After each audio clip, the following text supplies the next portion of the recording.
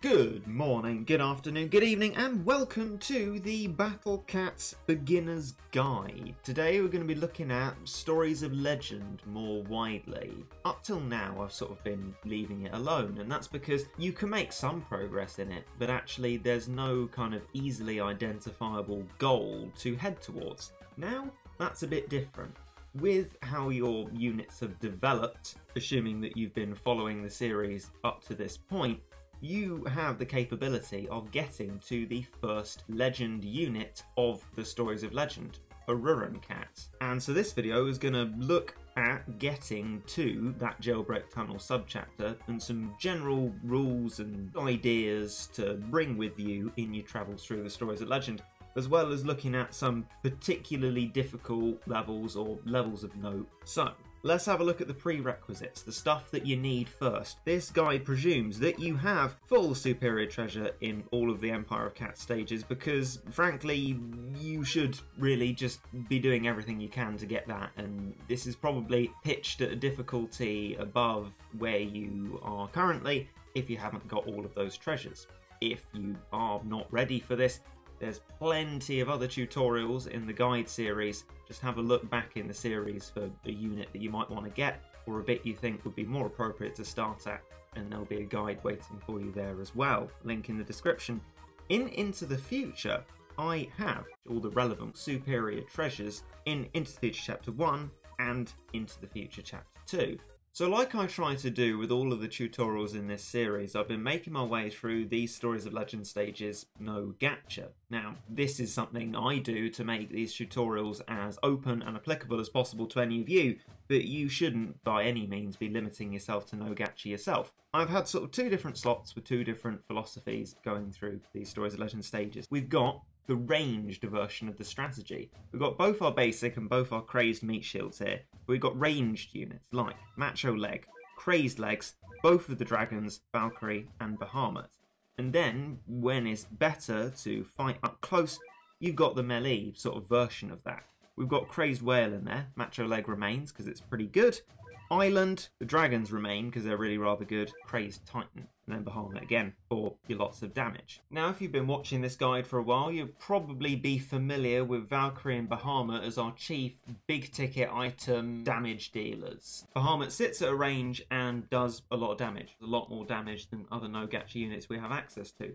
Valkyrie Cat very important for this one that you've beaten into the future chapter 2 moon as would be the case if you're following the guide series the chance to freeze enemies, which could be any enemy except for metal ones, is insanely useful here if you don't have specific units for different types of enemies, especially for normal type enemies. A lot of your basic rare gacha will be against red and things like that, but it's not often you find a unit that's tailored against any type of enemy.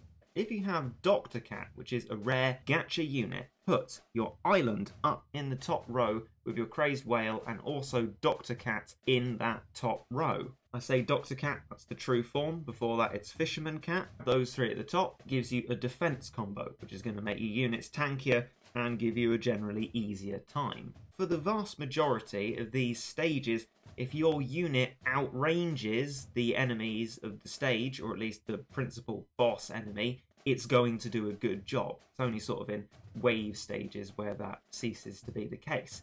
To find out what the ranges are, check the BattleCats wiki, I'll link that as well, for the range of your unit, which is in a data table at the bottom of the page about the unit, and then for the range of the enemy, which is in a data table at the bottom of its page. Your unit's numbers bigger than the enemy unit, you're probably good to use your unit. For the Reds, I've found that Crazed Whale and Island, your no gacha units, can withstand boars and stuff like that that you will come across in these stages. As long as you have all your meat shields out, some dragons in the back line as well, actually you don't necessarily need slowing, freezing, knocking back abilities against these boars to defeat them. Now, these two do have abilities. It's strong against, that increases their damage against red, but nothing particularly special. But, you know, if you have all your meat shields, a backline, and those two red enemies shouldn't overrun you. Obviously though, if you have a pretty good anti-red unit that fulfills the range requirement, or perhaps Ice Cat works a little bit differently, that just depends on whether you can get it in to get a freezing attack done quickly enough or whether it will get caught out, swap out your island for that, because island tends to be the more expensive, more cash draining one, and put your unit in there. Crazed Titan is actually really useful for walking up to enemies and getting damage on them when with anything else you couldn't. That is because, as we've seen before in some of these tutorials, Crazed Titan only has one knockback, and that's when it dies. It will soak up damage to that point, which allows it to walk up to stuff and hit it without being knocked back at certain percentages of its health. If you don't have Crazed Titan, the true form of normal Titan Cat, Jamiera doesn't do quite as good a job and doesn't have the chance of doing a wave attack, but it does that job pretty decently. The Crazed Whale and the Island sort of act a tiny bit like Crazed Titan, but they do have knockbacks. They're not going to soak up as much damage before they get knocked back, but often they're decently tanky enough to get damage off. And these three, Macho Leg and the two dragons, well, they're ranged. Often, with meat shields in front and a chunky enemy that you're trying to chip down, you can build up huge stacks of dragons and legs that get damage done really well onto those enemies in a safe and kind of cost effective way that isn't too much of a tragedy if they die off because you can begin your stack again. The point about stacking the dragons and legs brings me on to battle techniques. In some of these stages you'll find the main enemy of the level comes out pretty quickly and you may be tempted to put on a rich cat to get yourself the monies you'll want. But actually a lot of the time if you bring out all of your meat shields, macho leg and a dragon every now and then, you can stall the start of the stage while you build up your worker cat and then push forward eventually. At the start, generally, if nothing's coming out quickly, you should be stalling whatever peons are coming out, but other than that, doing nothing to push forward. You want to get your worker cat up to max. There's never an environment in which it's bad to have a max level worker cat. Just sometimes you can't manage to get there. Now, obviously, the story's Legend starts easy, and so the suggestions for levels that I'm going to give start within the Parthenon and end at Alcatraz. And we'll look at Jailbreak Tunnel and the final stage in that to get the Ururun Cat separately. The first level I want to look at is a wacky one with different mechanics, and that is Labyrinth of Hades. This stage combines a wave attacking unit, Corey, with a black bun bun, a unit that you really need a lot of meat shielding to keep stalled and in the same place. So what do you do? The answer is to just meat shield normally for the Bun Bun Black. That is what is going to cause you the most trouble. At the start of the stage, you should do the stalling that we mentioned. Stacking units and then a couple of meat shields each time. Upgrade your worker cat and if it looks like you're making too much progress, stop spamming stuff and let the Dark Doges, which come along every now and then, like that, knock you back to the start of the base and just move forward again. So the reason that we're just meat shielding normally here, and I've brought three meat shields for this, one of which is a Eraser, which I think you, you definitely benefit from, is because we need to protect ourselves from the Bun Bun Black. It's too strong to not be meat shielding for. But additionally, the Bun Bun Black is so strong that it will just keep killing the meat shielding. And that means that sometimes it will kill the meat shields when Corey's locked on to what it thinks is a meat shield being there and is about to take its shot. It takes its shot anyway, but hits nothing because the meat shield is already dead. And if it is already dead, no wave comes out. Additionally, the waves aren't so strong that you'll just be completely destroyed by them when they come. You can largely keep yourself going and even maintain a Bahamut long enough to get the hits in on Corey. Valkyrie is very useful here. If she gets a decent proc program random occurrence rate on this level, she will be able to hit both of these units and actually freeze them at the same time, rendering the Corey unable to wave and the Bun Bun unable to hit. My Valkyrie placement was not very good. I'd advise waiting a bit longer than I did and keeping it behind your stuff, otherwise it's going to die just like it did there. But this is the main part of the battle where we succeed or don't, whether Bahamut is going to get the hits in to kill Corey or not. Don't lure them to your base. I experimented with this and you can try and often in the Stories of Legend fight stuff separately by luring the faster stuff to your base and then the slower stuff, giving yourself time to deal with that later. there's actually not much speed difference between these two, and so you don't really benefit so much from doing that. Valkyrie's about to come off recharge time, so we'll definitely get her again.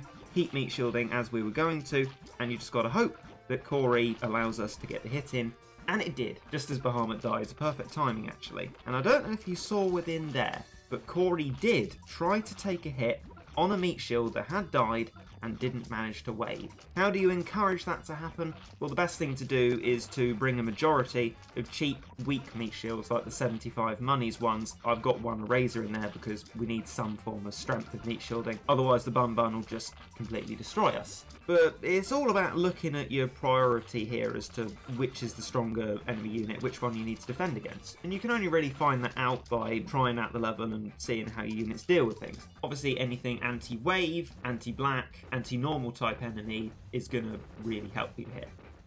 Beached mammals immediately seems like quite a scary one. There are several chunky bun buns doing damage to you. So it is important to bring ideally two Eraser types, so Eraser and Crazed Tank, and then the two 75 monies ones, Macho Cat or Mohawk if you have its true form, and Crazed Cat. Then you want your stacking as suggested, both dragons and macho leg. Then True Valkyrie is of true help here. She does a lot of freezing, which is really needed if you don't have any anti-red, black or floating units. Also in there is the boar, and as we mentioned, having Crazed Whale and it's strong against red can really help you. And then Bahamut as a ranged damage dealer. It really does do quite a good job here. But then again, if you have some unit with enough range and you've checked it has abilities against black or red, floating or combination even better, you're obviously better to use that one. But Bahamut is dependable and no gacha, so everyone can make use of it. If you don't have True Form Valkyrie, you're probably better off looking within your units for something with enough range and hopefully abilities against these to defeat them. But I think the most important thing is maintaining all of your meat shields. And as you stored at the start to get your max worker cat, bringing your CPU might not be a bad idea. Then the cat CPU can play the level for you, get the meat shields out in the most efficient way possible, and you can go off, make yourself a lovely cup of tea while the bun buns bite the dust. Now, Star Ocean is a particularly difficult level. This one can very often result in you getting overrun. There are a huge amount of Dark Doges in the level, and actually it's very difficult to deal with them. There is one way to make that easier, and for when I was going through it, one thing that actually made the level possible. This little thing here, I haven't introduced it this feature, it's a relatively new one, but when you've beaten a stage before, you go back into the same menu and click Equip, well, it tells you what you used before and asks you if you want to use that. So what I used here was all of the good meat shields that I could muster. Once you got four, you usually don't actually want to go over four. Then Macho Leg, Crazed Legs Cat, because that was really my only proper cheap area of effect. If you happen to have done Crazed Bird and have Crazed UFO, definitely use that. But I've been advised to suggest don't use your normal UFO cat, it won't have the range that you want. The dual dragons, even though they're actually only single target, do a lot of damage to the main boss, which once you got rid of that, the Dark Doges aren't so much of a problem. Then of course we know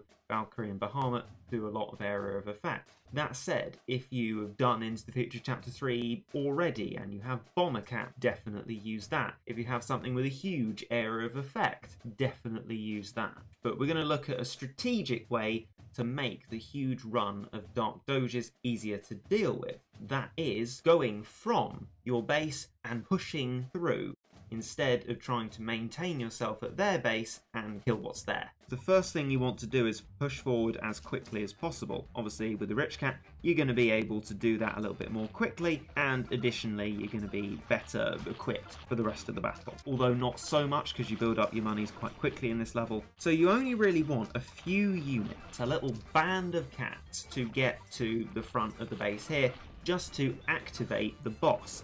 And then once that is done, you still do nothing, even though it may seem weird. You're actually wanting to start this battle properly at your base. So you should be upgrading your worker cat more attentively than I've been doing here. As you can see, you get your monies quite quickly. But then you start at your base with these units and then perhaps get yourself Valkyrie out, and as soon as you can, after that, Bahamut. As you can see at the moment, there are a kind of manageable amount of Dark Doges, and you're sort of able to kill them off a little bit more quickly at your base. That is common benefit of luring, what we're doing here the Dark Doges have to travel further to get to you, so you have more time with H-Gnar alone at any given time, meaning you are more likely to kill it, at which point the Dark Doges don't become so much of a problem because it's only them you have to deal with. With Bahamut, your dragon stacking and all of your meat shields as well as legs, any area of effect you have, any other anti-normal type units that you may have, you can dispense with the H-Gnar reasonably quickly, and so the Dark Doges that are left aren't too much of a problem at all. There is a level very similar to this one in Alcatraz called Prison Prairie, and actually that one you kind of want to fight at their base because it's a different kind of level. One I'd call a hold out level. In that stage, there are lots of H-Gnars, but only a limited number of black enemies. With Prison Prairie, you're actually waiting for the black enemies to stop spawning, killing all of them so that you're just left with a clump of H-Gnars that are easier to defeat. That one is a battle of attrition, and that's best fought as close to their base as possible to give yourself as much space between their base and yours as you can so that they don't push you back all the way to yours. This one I describe as a push through level, the Dark Doges will keep coming and actually will keep getting more difficult. You need to push through them and get to the base before there are too many of them to be able to beat the level. The Battle of Attrition slash holdout level is best fought as close to their base as possible. The pushing through where the enemies aren't going to stop is best fought starting from your base, given the advantages of luring. Underground Base may seem like one of those stages where it's really important to bring a rich cat, but actually that isn't really what's going to win the level for you. In this one, three very powerful Labuans come out, and this is one of those stages where you're going to want to stall with your legs, your dragons, and save up for stuff that can go and land hits on them. The Crazed Titan and Jamiera. So you can get your workout up a little bit, and once the Labuans are near, you're going to start meat shielding with, say, all three of these meat shields. You don't need too many particularly expensive ones, maybe just a Eraser is a more expensive one because the Labuans are so powerful, they're going to kill everything in one shot anyway. And then bring out both of your Titans. They will have that opportunity to get in and land the hits that nothing else can. By the time you've landed a few hits on these Labuans, they're going to be gone.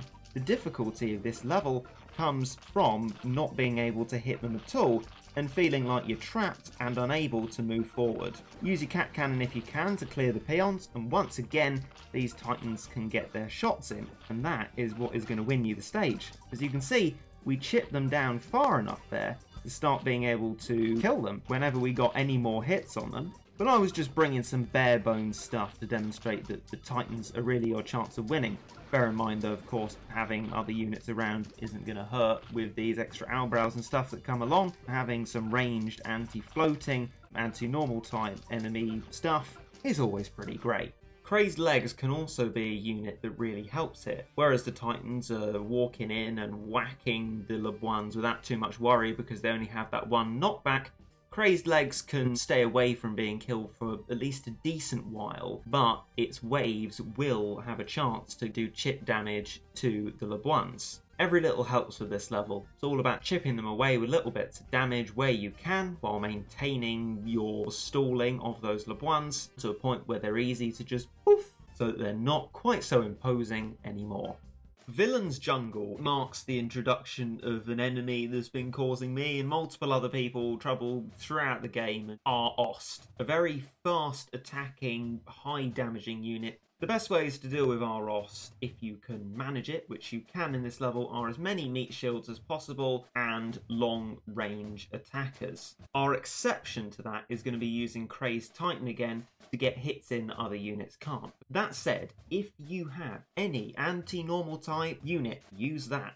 If you have Hackercat or Cyberpunk, definitely use that the closest equivalent I've got here is Crazed Legs, which can send waves past the many douches that also appear in the level to the R.Ost so that we are more constantly damaging it. Although it's got a really difficult enemy in it, it's actually a kind of fairly straightforward level format. We are able to get our worker cat up to max at the start, and that means it's fine to put a CPU on because there's no special combo units in here, at least for me, so we can just let the CPU spam whatever we've got to the best of its ability, which it should be able to do because you got the constant monies from the douches. Turn your CPU off at the start, as is the case of all of these CPU levels. We need to get working up max first, otherwise the CPU will concern itself with upgrading the worker cat. These are actually quite strong enemy units, especially the otter, so just be careful that you've got all your meat shields out. And if you're showing too many signs of pushing forward, just let the stuff hit you and start moving back again. Upon the death of something like the douche, remember to just upgrade your worker cat. And as you can see, by the time we killed the otter, another douche has come along. So our progress won't go too far, but, you know, just monitor it. If you're getting too far, let them push you back again. Once you've got your worker cat up to max, you're going to want to now spam everything you've got except Bahamut. The reason that you're just doing these units yourself here is because if you entrusted the battle to the CPU now, it would put out your expensive big ticket items immediately and they wouldn't be in a very protected position.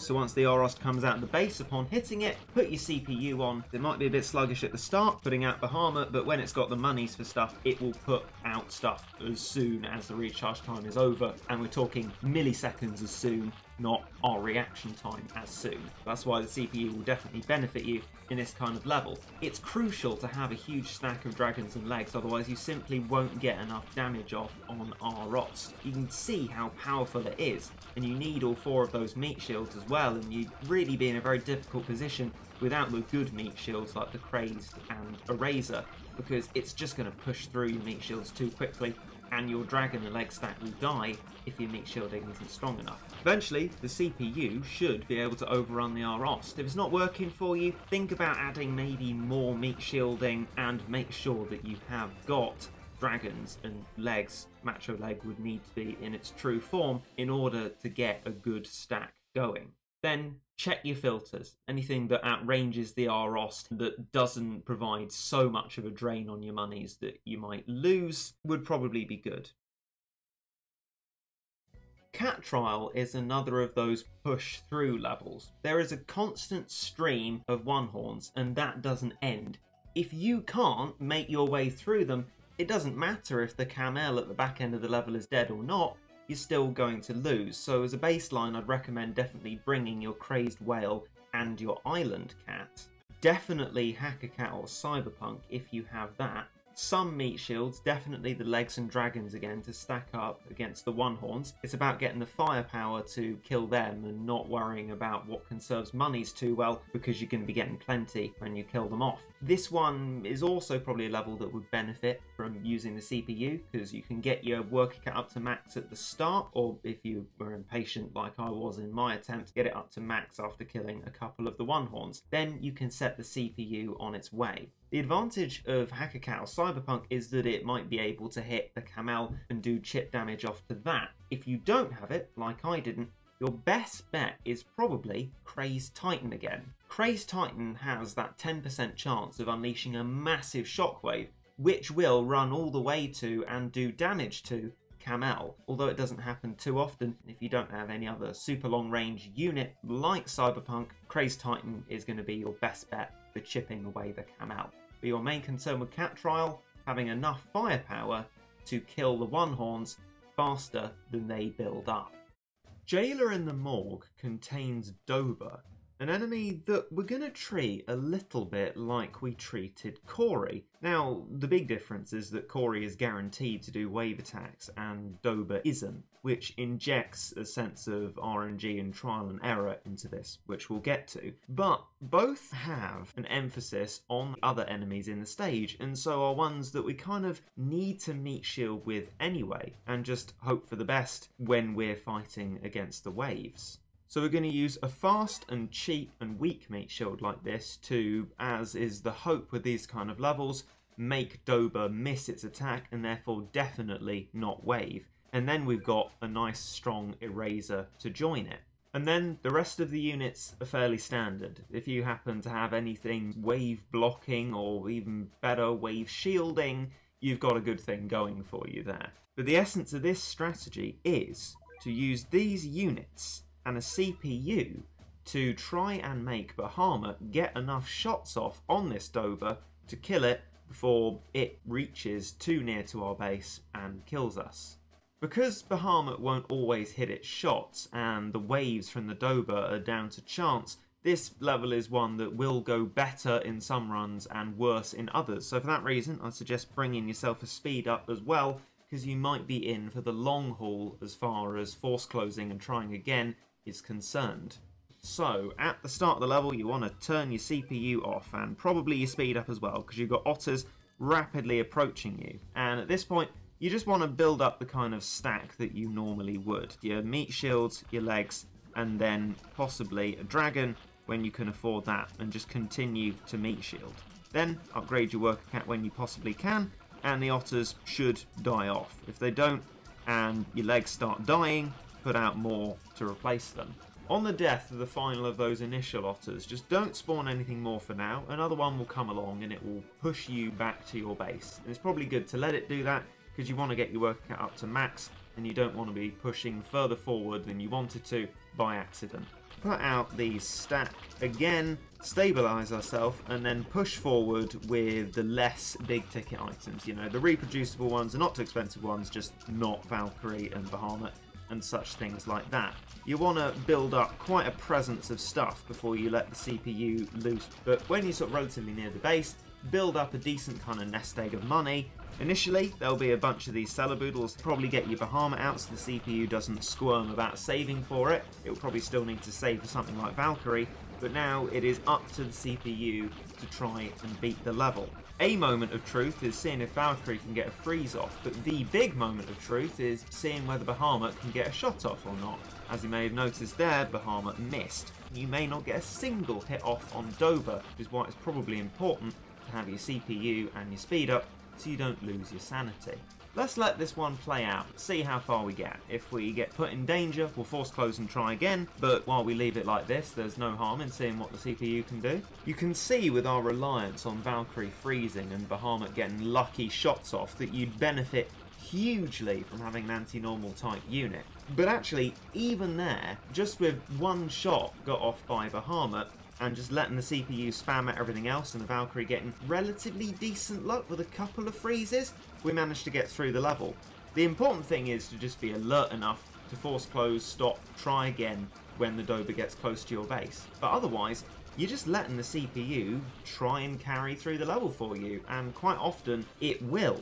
Once you've got all these units here, and especially if you have ones that work better that you place in, the CPU should be able to get this level done for you without too much bother. That will do it for this beginner guide on getting through the Stories of Legend stages towards Jailbreak Tunnel. If there's any of these levels that you're still struggling on or anyone's in between that you want to ask about, don't hesitate to ask. In the meantime, in this tutorial, be making progress through Into the Future Chapter 3 if you're following the guide in the order that we do things here. And if you're looking to be able to do something else, or you've come to this and realise the, the cats and such are a bit high level for you, or if you haven't got one of these units that you think would be very useful, Crazed Titan might be an example. Check the series in each case and there'll be something there for you. So I hope this has been of help to you. I will bid you goodbye and I hope you enjoyed.